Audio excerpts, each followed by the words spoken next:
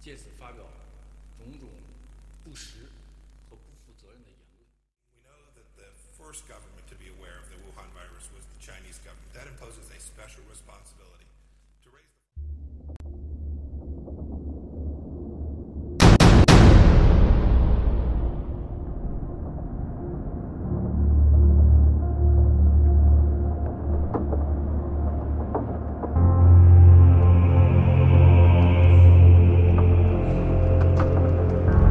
Halo guys, Assalamualaikum warahmatullahi wabarakatuh. Keep at home and don't go anywhere. Itu salah satu himbauan dari pemerintah guys. Yang konon, cara ini digunakan untuk menekan penyebaran wabah pandemi Yang telah menyebar luas di seluruh dunia. Diketahui wabah pandemi ini telah menyebar ke berbagai negara. AS pun semakin geram dan lantang mencap Tiongkok telah banyak menutupi informasi tentang wabah ganas ini guys. Menlu AS mengatakan Tiongkok telah memberikan informasi keliru terkait wabah serupa lainnya itu Terutama terkait awal penyebarannya selama ini. Tuduhan itu diucapkan Menlu AS saat rapat melalui video virtual bersama para Menlu negara G7 lainnya pada Rabu 25 Maret lalu. Di Washington, seusai melakukan video conference Menlu AS mengatakan setiap negara di pertemuan itu pagi ini sangat menyadari kampanye disinformasi yang dilakukan Partai Komunis Tiongkok yang ingin mencoba membelokkan fakta dari apa yang sebenarnya terjadi. Menlu AS menganggap Tiongkok telah dan terus terlibat dalam kampanye media sosial yang menyebarkan teori konspirasi terkait keterlibatan AS dalam masalah wabah pandemi saat ini. Itu pertemuan yang gila, seperti dikutip dari AFP.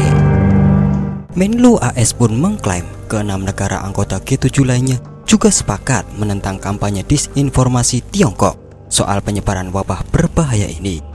Namun, sejumlah negara Eropa yang tergabung dalam G7 menekankan kerjasama lebih penting untuk memerangi pandemi global yang telah menular ke 486.702 orang di hampir seluruh penjuru dunia itu daripada saling menyalahkan.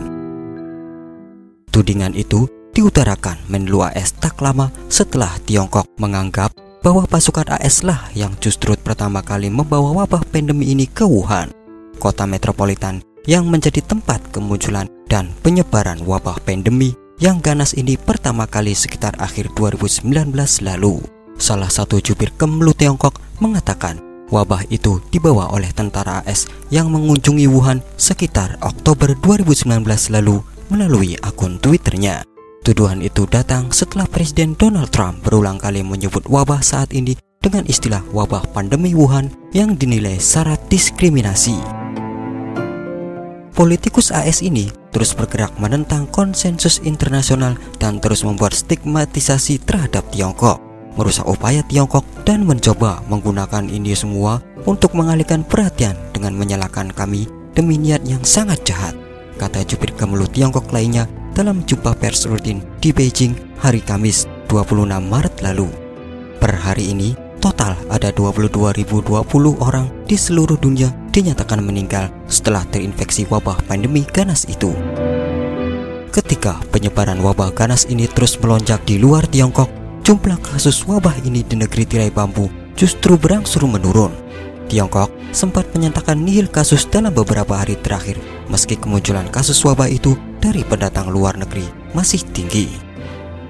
Di tengah upaya penanganan wabah dalam negeri, Tiongkok mulai berupaya mengulurkan bantuan bagi negara lain seperti Italia yang menjadi negara dengan kasus terbanyak di dunia.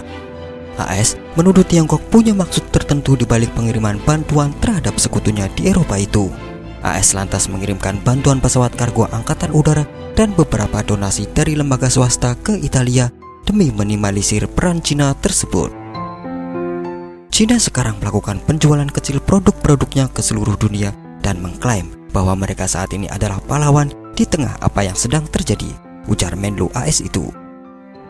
Meski berulang kali menuduh, Menlu AS Mike Pompeo menegaskan AS masih berkenan untuk bekerja sama dengan Cina demi mengatasi krisis pandemi ini.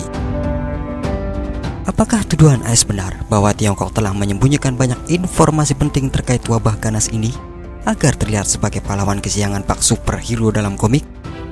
Atau jangan-jangan memang wabah pandemi yang saat ini tengah liburan keliling dunia awal mulanya dibawa oleh salah satu tentara AS yang berkunjung ke Wuhan seperti yang dituduhkan Tiongkok.